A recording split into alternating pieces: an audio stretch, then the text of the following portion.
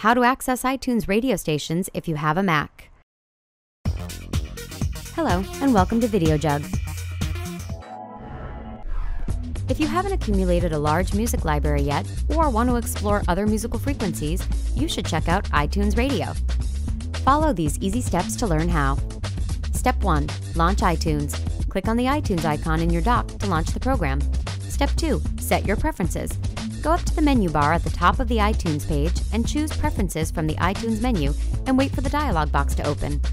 Step 3 Turn on the radio. When the dialog box opens, click on General at the top of the dialog box. Click the box next to the word Radio and click OK. A radio link will now appear in your source list on the left side of your iTunes window. Step 4 Listen to the radio. Click on the radio link in your source list to see a list of the musical genres to choose from. No matter what your taste, there is something here for you. Click on any of the genres that look interesting and scroll through the list of stations under that genre. When something looks appetizing, click on it to play.